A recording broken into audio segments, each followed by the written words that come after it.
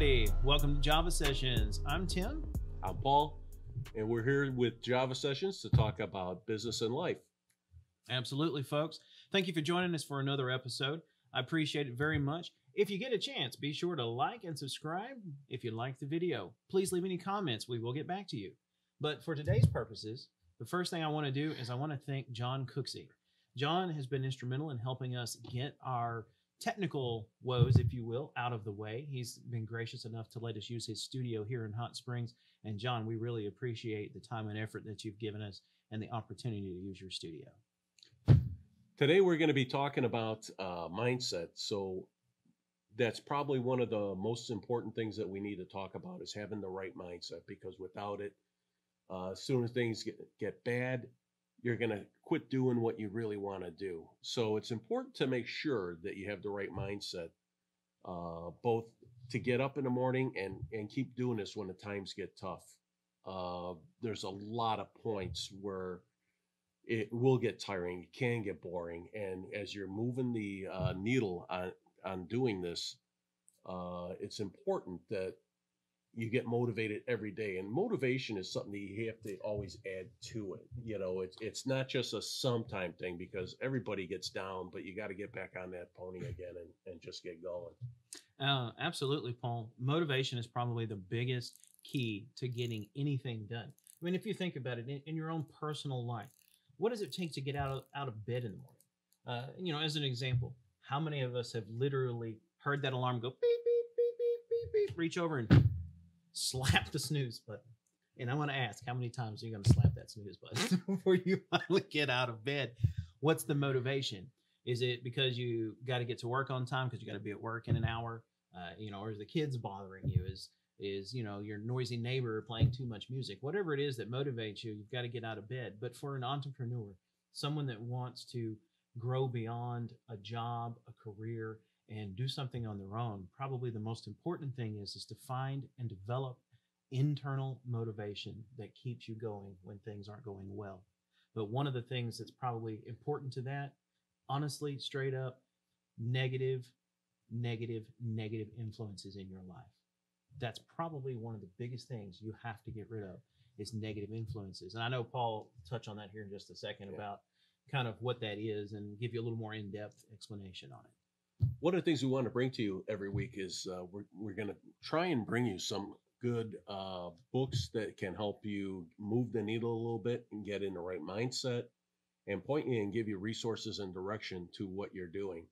Uh, one of the books we've got is Rich Dad Poor Dad. Rich Dad Poor Dad is uh, written by Robert Kiyosaki. And Robert's been around, I want to say he's had his book out now for like 20 years. And uh, you know, if if you're not a good reader or you, you hate reading, get the audio version because there's a lot of these tapes out there that you can still get on eBay.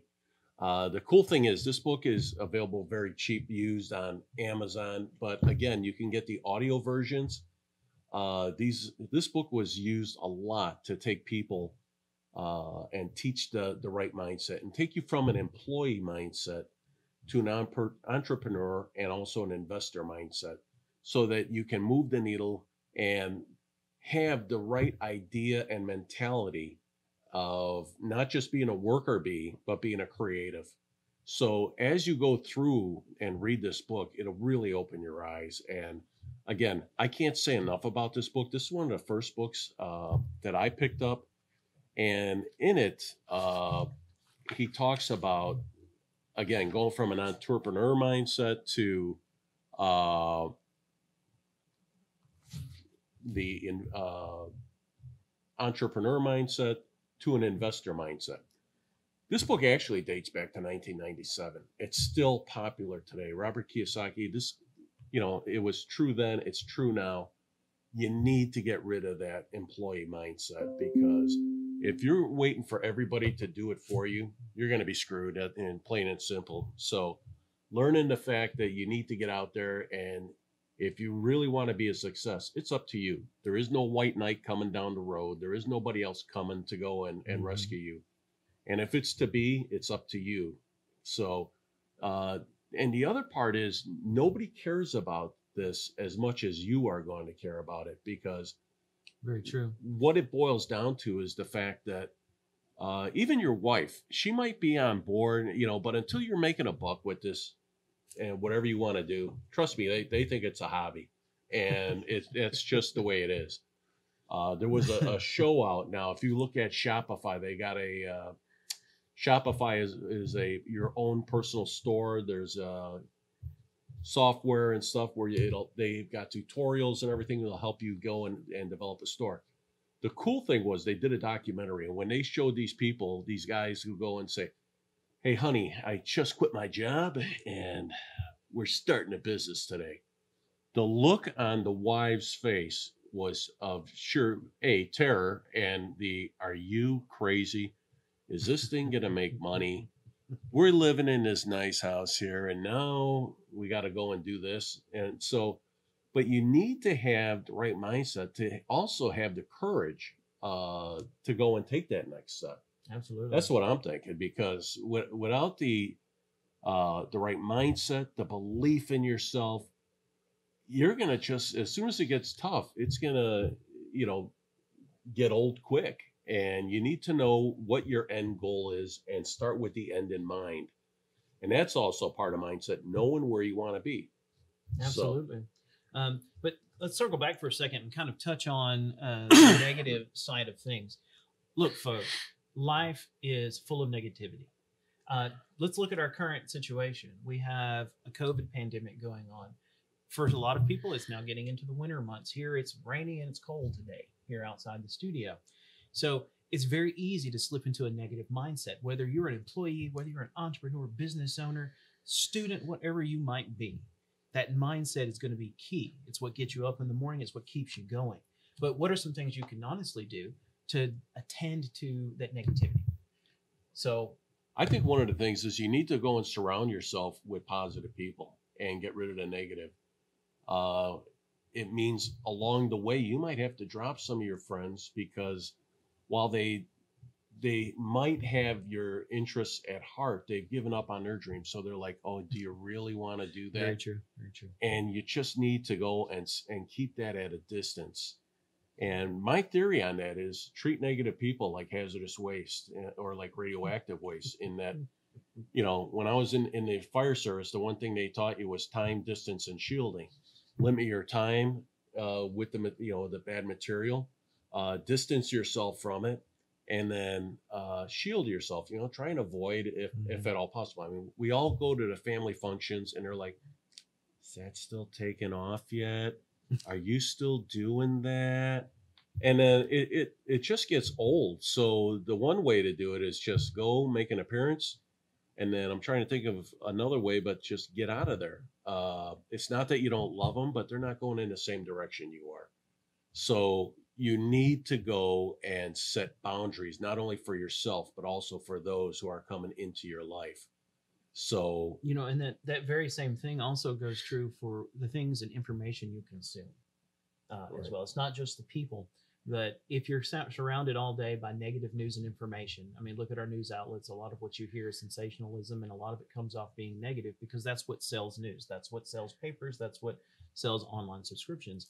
So it also becomes important not just with people, but also in what you read, and what you listen to, and what you hear, and what you see. Because whether you realize it or not, if you listen to the same negative things in the news or music or whatever it might be, over and over and over again, over time, it's going to create a situation to where you look at everything negatively. it does have an effect on you. And that's why I don't watch the news anymore. I, I figure if it's real important, somebody's going to call me. Uh, that's just one of the things you got to take into account. Uh, one of the things is, you know, how much of this really affects you? Focus on what you want. Uh, one of the things with mindset is it's an ongoing process and you need to always refresh it uh, it's kind of like in, Tony Robbins talks about when he talks about mindset. You know, you go to an event, and unless you keep up with it and take action right away and keep the momentum going, it wanes and it just falls falls apart. So one of the things you need to do is constantly reinvigorate yourself and just keep that positive thing going. I try and read something positive every day. Uh, I'm probably one of the biggest readers when it comes to self motivation and those kind of books. Um, I, at the firehouse, I used to get from the guys, "You're always just a company man," and I was I was always positive about my the firehouse and the, the place I was at. If you're not positive about where you're working, about where you're at, you need to change. I used to tell these guys, "Get the hell out." You know, I, I had one guy who was at a, a policeman and he hated being a cop. And I was working with this guy and he goes, yeah, I'm finally vested. I, I've got seven years in, but I hate this job. But I get four weeks vacation. I looked at him. I said, dude, you got 25 or 30 more years you got to do this before you can retire because you're at that age. I says, get the hell out of here because you're just driving yourself crazy. Not to mention you're driving us crazy. and God knows what's going on with your family who has to put up with you. So, again, if you are not in the environment you want to be in, change. Get your mindset together and say, "Am I where? Am I where I want to be at today? Where do I want to be tomorrow? Maybe, maybe you have to go and and take a gig where you know it it just pays the bills right now and puts a few pennies in your pocket, but robs your soul." Uh, we've all been there. And until you can get there, keep working at it and trying to stay positive. And again, we talked about it. Start separating those that that are negative in your life and learn to say no. I think saying no to some of these things, you know, if you go to a, a party where you know everybody there is going to be, you know, Mr. Doom and Gloom and everybody's just complaining about their job, learn to say no hey, can't make it tonight. Uh, yeah, we got something going, whatever. Or if you do go, drop off your bottle of wine, make all the pleasantries, say hi, and then get the hell out of there. Uh, I had a boss that was like that. He didn't want to be around the employees. He'd always show up, stayed his 15 minutes, and then left. He didn't want to be surrounded by the negative people who are all liquored up, drunk. He didn't want to have to see that, so he might have to talk about it later so, so it became. So he was an, he was an in and out real. Quick. Yeah, he he was one of those in and out guys, and but it worked for him. And then, well, let, let me ask you, Paul, while we're talking about the subject of mindset, um, it, for the for the people, for you and me, we're fairly self motivated, so we have this internal motivation already going. I mean, we we talked about it in the last podcast, in the last episode. We we were already knowing what we wanted to do. We had at least an idea of the direction we wanted to go. Uh, but for a lot of these folks, they don't even know how to get that that mindset started. They're so into it, they're so under the water in it that they can't even see daylight on it, much less you know go, hey, I'd, I'd like to do this. I want to try this. So, how do you help them? I think one of the ways you help them is get them around positive people and get them out of the environment is the first start. I mean, if you're in a job that is totally dragging you down, uh, I know this guy works at a place and he puts in like 70 hours a week and he just needs to get out of there. Um, true. So it's, it's true. one of those things where, uh, and, we, are kidding around here, but it's one of those things too where, you, you know, you, you meet the, your friends who work at companies and they, they get told those magic words. You're going on salary, uh, which translates to you're getting screwed. Uh, because if they paid you overtime for all the hours you put in, they'd go broke. Uh, but by the same token, it's like, why do you want to, you know, endure that kind of stress? I think it's the one thing that helped me along. I had a friend, uh, his name's Daryl Hill, and Daryl is a guy who works with people and helps them get past what what I call mind blocks. He calls them gifts, gifts that somebody else gave you, you know, like guilt and stuff like that. Uh, but on the mind block thing, he goes, look, you got to come with me to this event. And I was like, geez, Daryl, I don't know, you know, spend the money. Do I want to go to this event? He goes, look, it's going to be a world of good. I went to this event. Not only did I get to meet the the guys who I'd been following online for like five years, and these guys were kind of like my rock, you know, internet rock stars that I knew. I mean, guys like Matt Basic. There was uh, Armand Morin, who was uh, one of the legendary internet marketers this guy's only 44 years old and he's got an 18,000 square foot home where he does all his internet stuff from. He's got a complete studio in it. I got to hang with these guys at this event and just absorb some of their energy and get to meet them. I got to meet all these other entrepreneurs. Every one of them was positive, man. You don't go to an event like that. The people who are at Mhm. these events are there because A, they got the right mindset, they're positive, and every one of them wants to help somebody along the way. It's the old thing of when God sends the elevator down and brings you back up, it's your job to send the elevator back down and bring somebody else up. So when you're at these events, most of these people, I'd say like 90% of them, are super giving. I was fortunate that at the event I was at, the two guys who I really enjoyed, I got to, and these guys get anywhere from a thousand to ten thousand dollars for a day of consulting. They get thousand dollars an hour or ten grand a day for consulting. And I got to hang with these guys for three days. I got to sit at a table with them and just jaw with them for like six hours.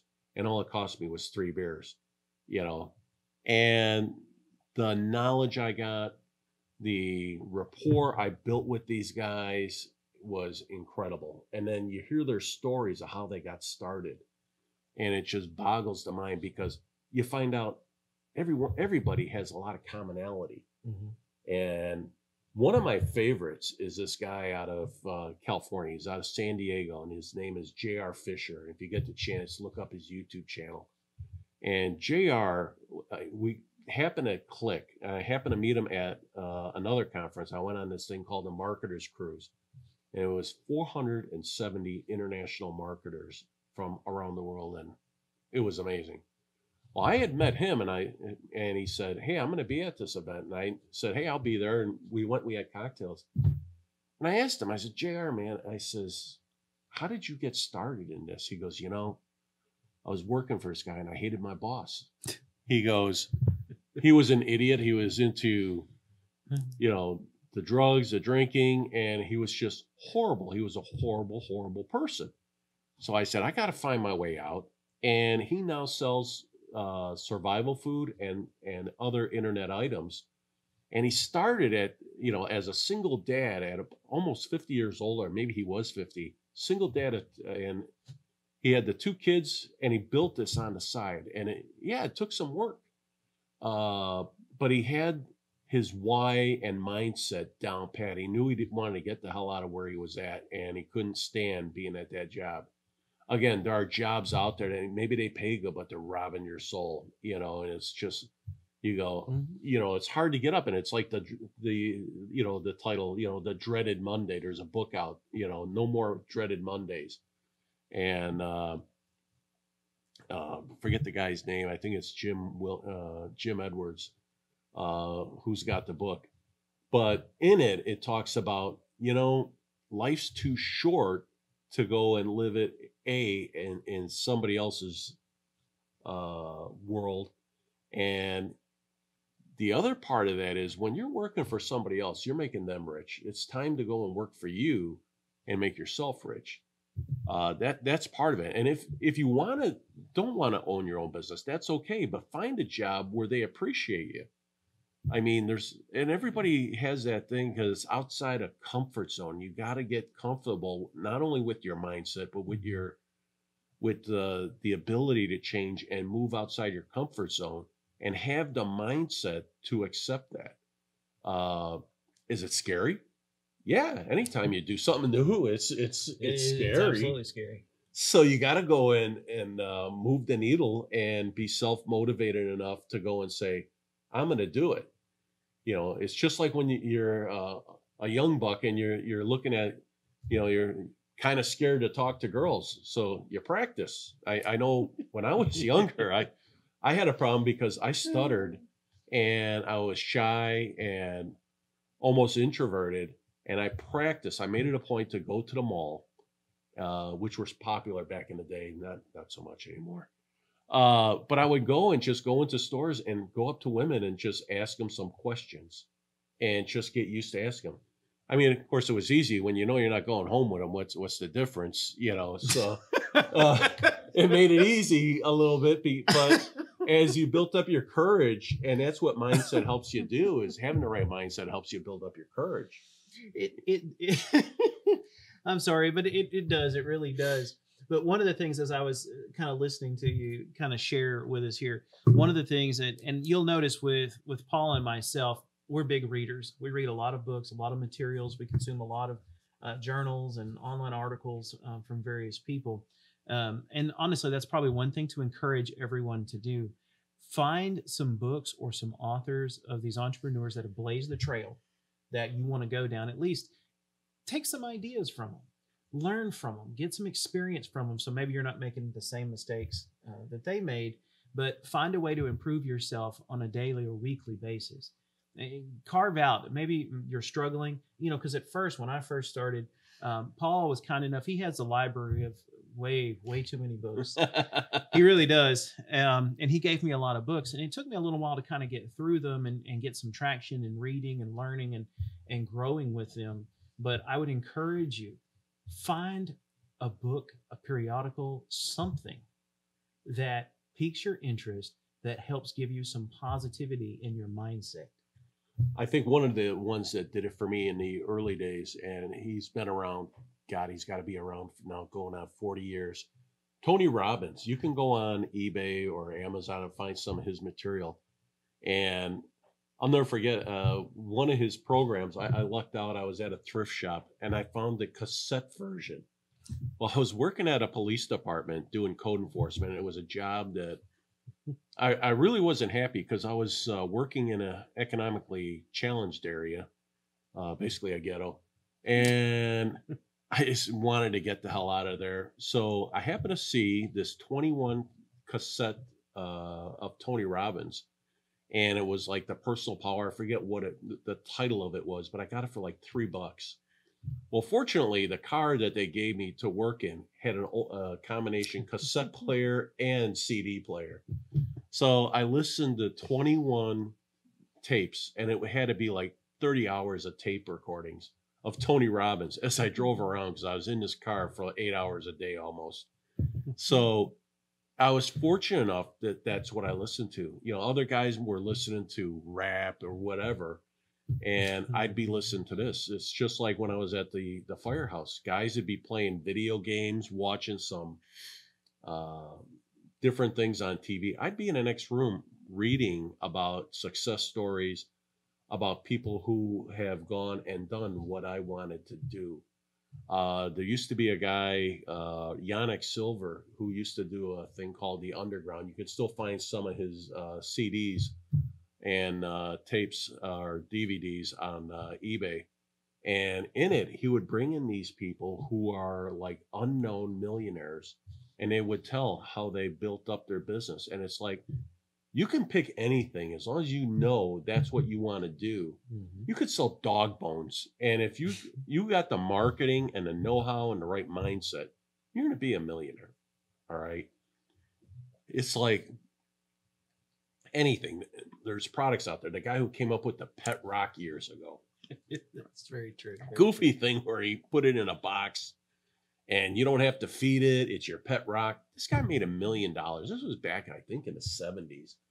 But if you look that story up, and it's incredible. But when you start reading success stories and you can feed your mind off of the success of others and see where did they go wrong, but then use a tactics uh, and strategy uh, mindset and take do the takeaways.